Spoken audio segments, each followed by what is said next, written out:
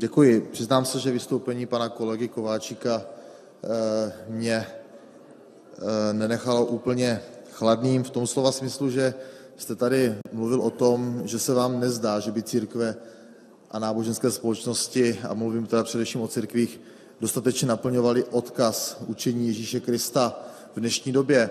Nevím, nakolik, pane kolego, znáte prostřednictvím, prostřednictvím pana předsedajícího takové lidi, jako je Marian Kůfa. Jestli vám to něco říká, protože jeho dílo je i na území České republiky. Jestli vám něco říká farnost Neratov a kněz otec Suchár a jeho dílo. Jestli vám něco říká páter František Lízna, který dlouhodobě pracuje s lidmi eh, ve vězení, s lidmi eh, s postižení návykovými látkami a mohl bych jmenovat celou sérii dalších lidí, kteří si myslím, že jsou aktivní v rámci církve a naplňují bez zbytku odkaz učení Ježíše Krista. A já si dovolím, pane kolego, pár čísel a i pro lidi, kteří nás sledují.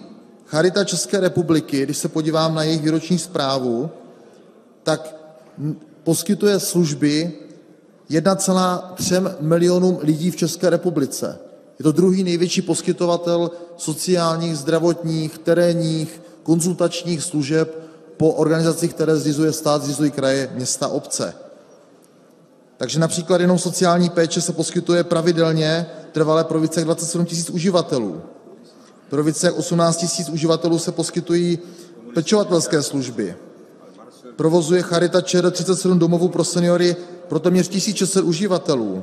A mohl bych pokračovat, takže prosím pěkně, nemanipulujme tady fakty a neříkejme veřejnosti, že církve a tady je katolická církev největší zřizovatel, je zakladatelem charity, neplní ten odkaz miluj svého bližního jako sám sebe. vám čas k faktické poznámce. Pane, pane předsedající, ne, bylo, jako nezlobte, bylo 0,1 sekundy předtím, než